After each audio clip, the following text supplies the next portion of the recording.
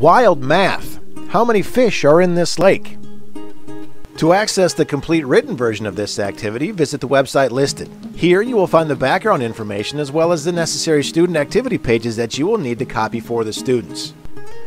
Basics. Suggested grade levels 5 through 9. Subject Mathematics. Skills Computation, Graphing. Correlation to the Illinois Learning Standards Mathematics 6B, 10A. Materials Copies of the student activity page. Objectives Students will 1. Identify the value of stocking, a commonly used fisheries management technique, and 2. Analyze the results of a fish stocking project. Method Students will use a real life example to perform calculations and explore the reasons that fishes are stocked in lakes and ponds. Activity A landowner may choose to add fishes to a lake or pond to increase the variety of species found there or to be able to catch particular types for food or sport. Adding fishes in this manner is called stocking. In Illinois, some of the most popular fish species that are stocked in ponds and lakes include largemouth bass, bluegill, and crappie. Some species are stocked when they are quite small, known as fingerlings, while others are stocked when they are almost half grown. Properly stocking a pond or lake is a science that takes into account the size of the water body and what species are already living in the fish population. The following problem is an example of what happened in Lake Jacksonville, owned by the City of Jacksonville and managed by the Illinois Department of Natural Resources. The lake is located in west central Illinois. Special thanks to Dan Stevenson, IDNR fisheries biologist, for providing the information. Lake Jacksonville is a 475 acre fishing lake. Because of the beautiful scenery surrounding Lake Jacksonville, a large number of anglers fish there each year, even though very few fishes were caught.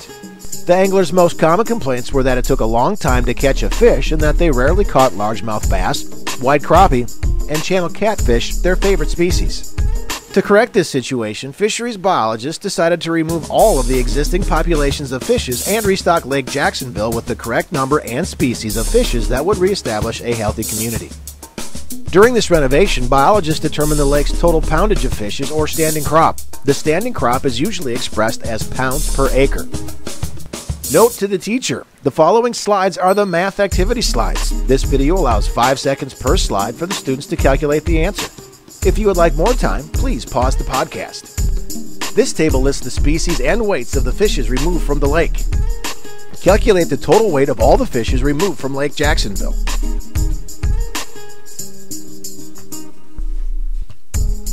The correct answer 202,350 pounds. Calculate the standing crop of each of the species. Your answer should be expressed as pounds per acre. Start with carp.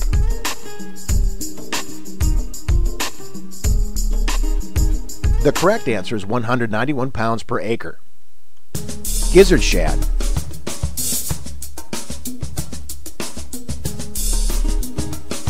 The correct answer, 156 pounds per acre. Bullheads.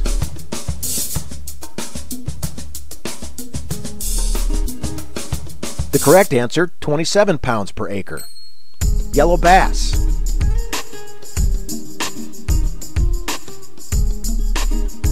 The correct answer, 26 pounds per acre. Bluegill.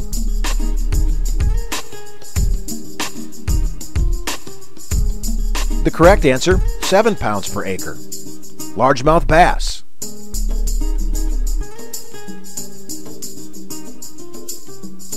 The correct answer, 7 pounds per acre. Channel catfish.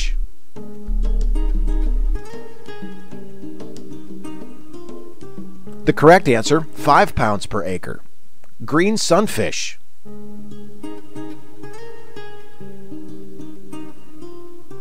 The correct answer, 4 pounds per acre.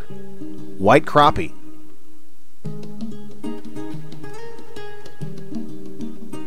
The correct answer, 3 pounds per acre. Calculate the standing crop of Lake Jacksonville.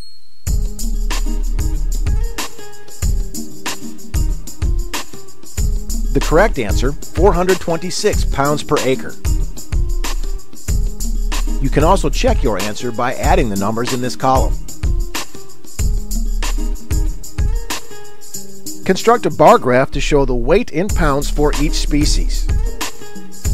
On the left vertical axis, set a line from 0 to 100,000. This represents the number of pounds of each fish species.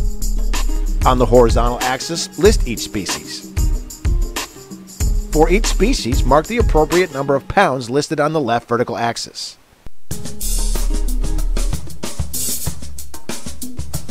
What percentage by weight of the community was made up of largemouth bass, crappie, and catfish, the angler's favorite species to catch?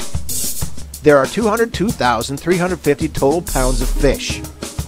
Largemouth bass, crappie, and catfish make up 7,125 pounds of this total.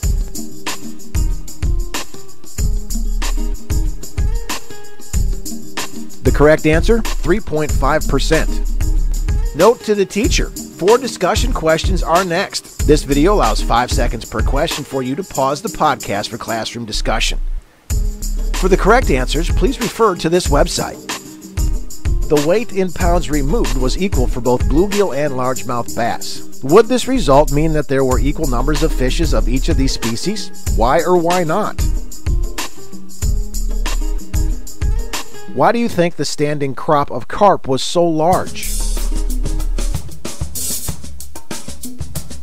Why are gizzard shad important to the lake? Is stocking an aquarium the same as stocking a pond? Note to the teacher, the following slides contain more math activities. This video allows 5 seconds per slide for the students to calculate the answer. If you would like more time, please pause the podcast. Lake Jacksonville was restocked using this rate 100 largemouth bass, 500 bluegill, 200 red ear sunfish, and 100 channel catfish per acre. The fishes were 1 to 3 inches in size. There are 475 acres in this lake. How many of each species were added to the lake? 100 largemouth bass per acre in 475 acres. The correct answer is 47,500 largemouth bass. 500 bluegill per acre in 475 acres.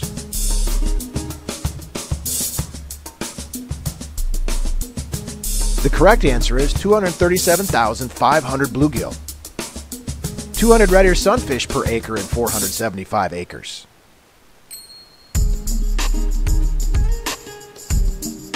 The correct answer is 95,000 red ear sunfish. 100 channel catfish per acre in 475 acres.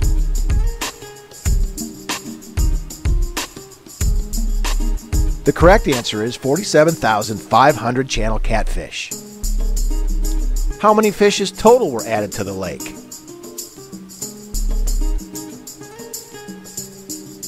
The correct answer is 427,500 total fishes. Three years later, white crappie, 8 to 10 inches long, were added to the lake. Hybrid striped bass have been added every other year since the crappies were stocked. Channel catfish have been stocked every other year since 1988. Let's compare the species removed from the lake with those restocked in the lake. Removed species were common carp, gizzard shad, bullheads, yellow bass, bluegill, largemouth bass, green sunfish, white crappie, and channel catfish.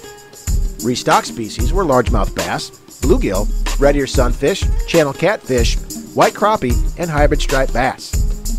How many species were the same?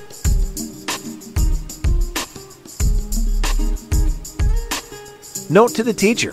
Seven discussion questions are next. This video allows five seconds per question for you to pause the podcast for classroom discussion. For the correct answers, please refer to the website listed. Why do you think that some of the species removed were not added back to the lake?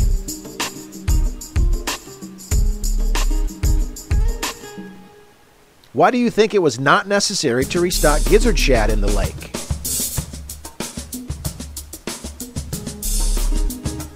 If the fishes in the lake were all removed now, many years after the restocking discussed in this activity, do you think that fish species other than the six that were restocked would be found? Why or why not?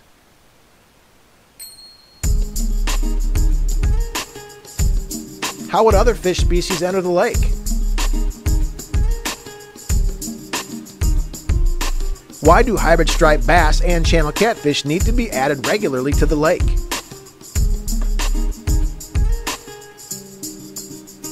What do you predict would happen to this lake in 10 years if stocking and other management techniques were stopped today? Reference adapted with permission from Wild in the Woods, Virginia Department of Game and Inland Fisheries, May 1995.